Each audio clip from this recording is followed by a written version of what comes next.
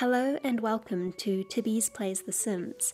I am your host, Toby, and I must confess before we start that I've spent many periods of my life addicted to The Sims. I hadn't played for a while, but me justifying this video as content for my YouTube channel has put me on a very slippery slope. We are playing in Strangetown today, a town for the scientifically curious, and a place where nothing is quite as it seems. I'm playing The Sims 2 because I'm old school, and that's the version of the game I've spent the most hours on. As you can tell from the title of the video, I'll be creating some famous physicists from history in the game and simulating a few months in their lives. I've started with Einstein here. I'm not very good at recreating faces, but I'm doing my best to make the face look kinda right. I'm a little disappointed there was no crazy scientist here, but I think that what we've got will do the trick. I've named this family the Atom family. Although it won't be quite your usual nuclear family, we will have an assortment of people from different eras, and I hope that they will be able to live harmoniously together. Einstein was apparently one of the early trendsetters for successful people wearing the same outfit every day. He had several variations of a classic suit, so he wouldn't have to waste time and brain power deciding on which outfit to wear each morning. I will try not to waste too much of my own brain power deciding on an appropriate wardrobe for him. I will give him some space time gridded pajamas though. Einstein, I have given the life aspiration of knowledge. I think that makes the most sense. This will drive him to know everything there is to know about anything.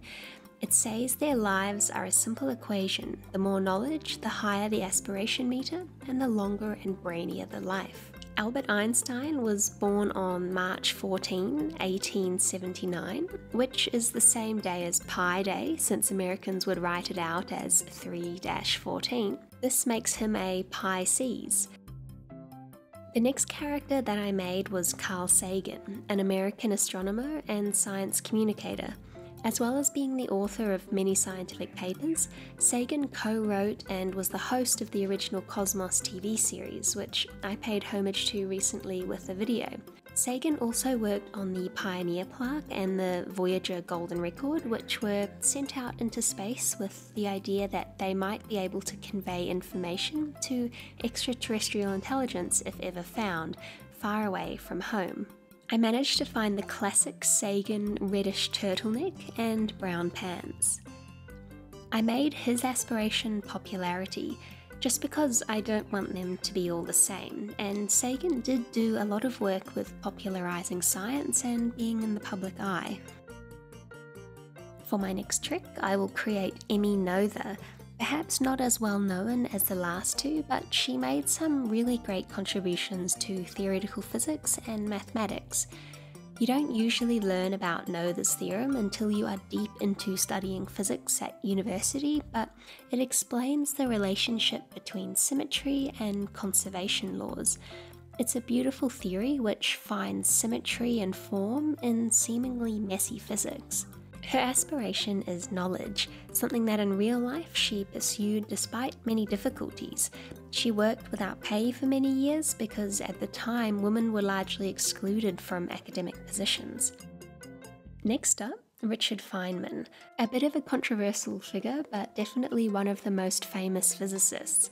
He received a Nobel Prize for his work on quantum electrodynamics, authored some popular books, and gave great lectures, many of which are transcribed online for free. The Feynman Lectures in Physics are a good resource for all physics students wanting to learn. I think I did the worst job on making Feynman look like the real thing. I wanted to capture that he seemed quite tanned, but I couldn't quite get the hair and face right. After deliberating on the everyday suits for a while, I went with a light tucked in shirt. I made Feynman's aspiration pleasure. Of course, he also pursues knowledge, but I think he has a famous quote about doing physics for the pleasure it brings. For a cute addition, we have Schrody the cat, modelled on Erwin Schrödinger. Some of you would have seen my post this week about losing my own cat Ketchup after he was hit by a car, and I am still quite sad about that.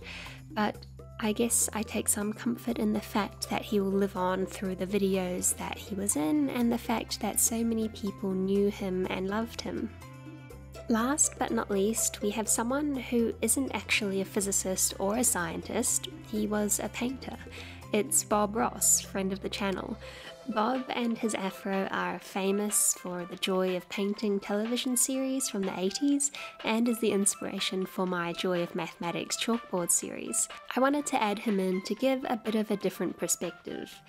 I've also made his aspiration pleasure. It seems like he paints for the pure joy it brings, and he can find happiness and beauty in any landscape. Bob was born in 1942, the latest of everyone that I've made. In fact, in 1942, all of the others were still alive except for Emmy Noether, who died a few years prior in 1935. But all the physicists involved here were actually alive for overlapping periods of time. And so that's our family. Let's move them into the house that I've already built for them. I'll show you around in a second, but first let's look at our characters' aspirations and wants in life. It is kind of sweet to see that the common fear that they all hold above anything happening to each other, above their own death or misfortune, is the persistent fear that anything bad will happen to Schrody. As you enter the house, take off your coat and hat and place it on the coat rack. Downstairs, we have a kitchen, a workshop, and study space, including a statue in honour of Newton's apple, a pendulum clock to inspire thoughts about the nature of time, and some quantum wave snapshots depicted on the walls. We also have a globe and a chess set upper level, we have all the bedrooms with carpet chosen to suit the personalities of each occupant, a nook for Schrody, and a library at the front with reading chairs that look out to the big glass doors. On the top level, we have a breakout room with easels, a drum set, a fish tank, and gym equipment. There might not be much time to come up here though between working on important discoveries. Outside, I have placed telescopes and a camera for astrophotography. These are dwarfed by the radio dishes next door, which belong to SETI and aid in the search for extraterrestrial intelligence. We have a fountain of knowledge and a small garden. Outside, we also have the lab, filled with state of the art equipment and includes a small clean room for delicate fabrication. Features of the lab include a scanning electron microscope, a transmission electron microscope, an atomic force microscope, a single photon emitter, and several laser experiments. Behind the lab, we have a small enclosure with specimens from ongoing biological experiments. Now, the first few weeks in the house were great. The library was well used as it was stocked with the best scientific journals and books, we have early copies of Newton's Principia and Euclid's Elements. Things were harmonious. People played games together, ate meals together. Here's Feynman planting some hydroponic crops in the lab and working on some important manuscripts. Oh, never mind. While the others worked on science, Bob spent his time in the loft painting. He was happy and produced several fantastic landscapes. Some uninvited guests arrived and brought their pets, who destroyed several precious and irreplaceable items.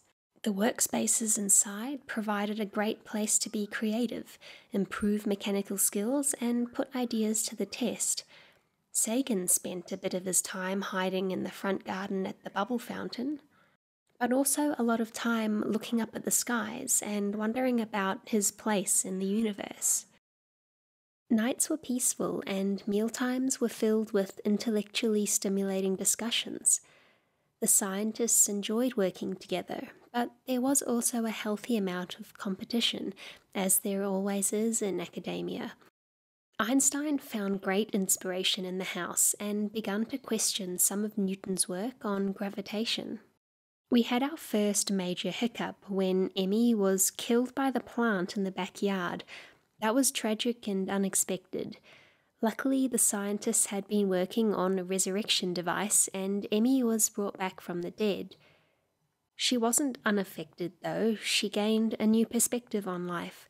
The concept of beauty had always been important to her and her work, but In her second chance at life, she couldn't help but appreciate the beauty of life itself and wished that others could see it too. One other in the house could. It was Bob, and he and Emmy formed a close friendship. They bonded over discussions about the nature of symmetry and colour combining. They agreed that in life there were no mistakes, just happy accidents. Inevitably, the kitchen caught fire one night, and I regretted my forgetfulness in regards to installing sprinklers. Emmy got a job at the local uni as she felt it was important to give back. Feynman also got a job, but in a local law firm where his intelligence saw him quickly promoted. He was pretty cheeky, putting soap in the fountain one day just to cause some chaos. Schrödi was also learning a lot. He was taught about the famous Schrödinger's cat thought experiment and taught to play dead for the purpose of illustration.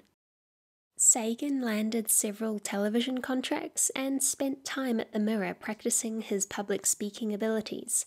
One night, Sagan took a photo of the dishes next door and hung it up in the hallway with the title Pale Blue Dish. Bob asked to paint a portrait of Emmy. Nobody knew it at the time, but that night was the last time there was ever peace in the house, or at least for a while. Einstein had failed to show up for dinner. Nobody thought much of it, assuming that he had got stuck with work in the lab and would come in soon. In fact, Einstein was in the front yard, digging with a shovel. He couldn't explain why, but something had just come over him an uncontrollable and unexplainable urge to dig. Deep underground, he found a scroll of paper. It was tattered, but he could make out some handwriting quite similar to his own. It was a note dated exactly one year prior to the current date. Some words were torn, but what he could make out said, You've been here before. It repeats. A simulation. At first, he didn't know what to make of the note, which he put away in the lab, but then it began to make sense. He studied simulation theories, time loops, and quantum computing, and began to understand why he had been unable to shake a feeling of deja vu, why he had so many times walked into a room and then forgotten what he came for and left empty handed. He had figured out, as other versions of him had several times before, that he was indeed living inside a simulation. He meditated on the idea, but decided not to tell anyone else in the house. What good could that cause? To shake their world view to the core and leave them questioning their sense of self? No, it was best to let them be happy, even if their quest to find truth and science would never lead them to the real truth, just to the rules of their programmed universe. Einstein was a clever man, but not clever enough to hide the note. Four days later, Feynman approached him with a very aggressive temper. Why didn't you tell us? he shouted. Einstein realized his mistake in being careless with his possessions. Because it doesn't matter, he calmly replied. Doesn't matter? Nothing matters more than this, shouted Feynman. Feynman next confronted Sagan. He told Sagan, I know why you're having so much trouble figuring out what's beyond those dishes. It's because that area hasn't been loaded yet. Sagan looked up at the sky and considered this. In the end, he had to believe it, for it would solve the Fermi paradox which had been plaguing his mind. Feynman wrote a series of disheveled blog posts after the top scientific journals rejected his papers trying to publish the truth. He was dismissed as a crackpot. In rage, he got to work on a neural device that he would wear, which could block any attempts to control his free will, to block any commands originating outside of his own mind.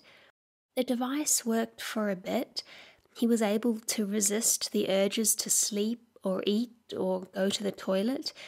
He was free, but deeply unhappy. He fell asleep standing in the bathroom, refusing the desire to sleep in the bed as an attempt to break the simulation. As his limbs wobbled all night, precariously tipping him but never enough to fall, Feynman held on to sanity with only the weakest of grips. On the computer, whilst posting another blog post about his device, he noticed a game that he used to enjoy playing. He opened it up just to imagine what it would be like to control characters in a game. He wanted the best for his characters and did what he could to see them win and thrive. Maybe Einstein had a point after all. Maybe it didn't matter. Since realizing the truth and resisting, he had seen the darkest days he had known. He at least owed him an apology. Feynman found Einstein in a place he had never been, the upstairs loft. Einstein in recent days had stopped doing science and taken up an interest in painting. He had looked around at his housemates and noticed that the only one who seemed truly happy was Bob.